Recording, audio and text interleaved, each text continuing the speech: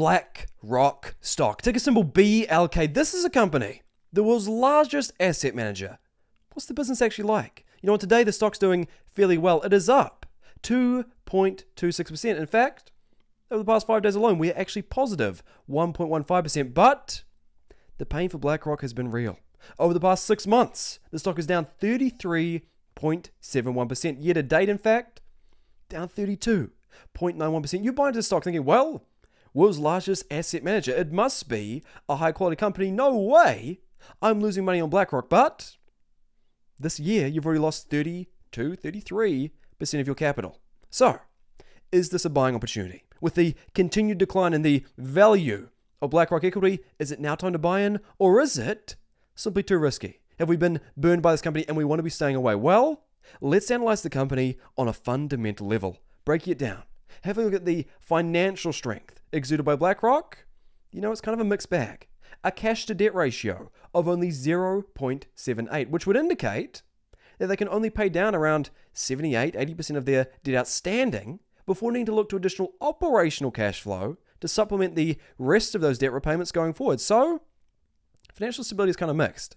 I think what people miss with BlackRock is the massive amount of free cash flow constantly flowing into this business. This, as an asset manager, the constant collection of fees provides them with a tangible and very consistent form of free cash flow constantly flowing into their company. As that exists, as they keep getting free cash flow from operations consistently, you know that cash debt ratio doesn't cause me too much concern. Yes, it could be better. Yes, they could be holding more cash on, hand. In fact, historically, they have been holding more cash on hand. Historically, their median cash to debt ratio has been around 1.25. But given the consistency of free cash flow flowing in, I'd say it's fairly good. I'm not too concerned with that. But there is a risk that in the event of a recession, in the event of a stressful period in the marketplace, as we are in right now, that investors start saying, listen, I don't want my money with BlackRock anymore. I want to take my money out. I, I want to have my cash on hand. I don't want to be investing. And that, that's a key risk for BlackRock. Because if that happens, if investors start pulling out their money out of their various funds, what that means,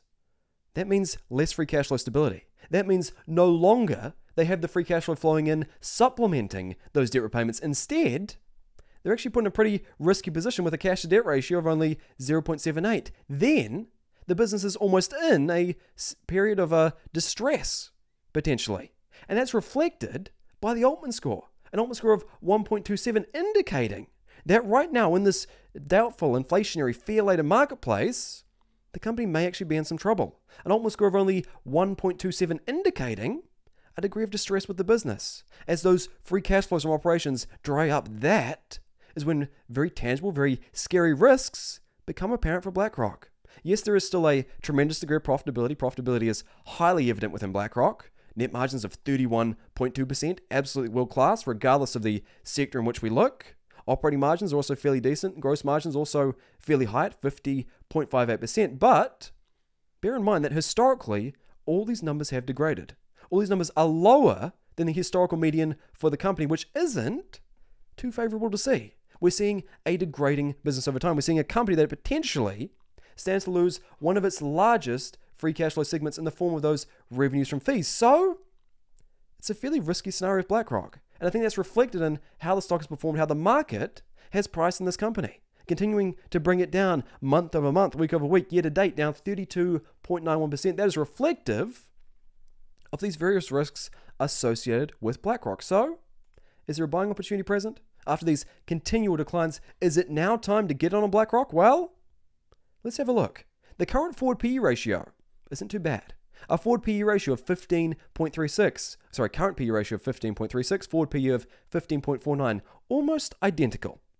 Now, these are fairly low PEs. For the novice investor, they may say these PEs look fairly cheap. The company must be cheap. Well, we need to look at the growth rates the tangible growth rates taking place within BlackRock to get an actual valuation of how much the company may actually be tangibly worth. Now, look at the growth rates for BlackRock, they've been fairly consistent 11% over the past decade, 11% over the past five years, and 15% over the past one year. So, not bad on the day, fairly appealing. But on a free cash flow basis, they lack free cash flow stability and free cash flow consistency in terms of the free cash flow accreting to their business. Our free cash flow growth rate over the past decade of only 5.9%. Yes, it has accelerated over the past five years and one year, but relative to the relative to an earnings per share valuation, which yields potential upside of around 25%, a free cash flow valuation with the same 11% growth rate only gets your price target of around 614. So there's a big differential between an earnings per share valuation and a free cash flow valuation for this company. Now, which valuation makes more sense? Would you rather lean towards earnings per share or lean towards free cash flow valuation? In this instance, given the inherent and historical lack of free cash flow accreting on BlackRock's balance sheet, I probably lean towards earnings per share. I think that gives us a more tangible, more reasonable valuation of how much the company is worth at this time. So, my price target for BlackRock right now, around 817.94 cents. 25% margin of safety, which is fairly decent, a fairly healthy margin of safety, but given the environment in which we're operating, an environment in which, you know, we could see massively reduced net income for this company correlated with a decline in fees being paid due to people withdrawing their money, that's a very tangible risk. And I'm not sure it's worth only 25% short term upside. It's up to you.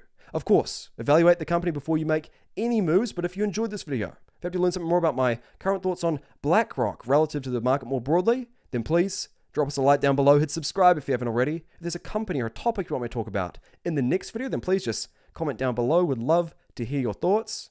But until then, thank you. I'll see you in the next one.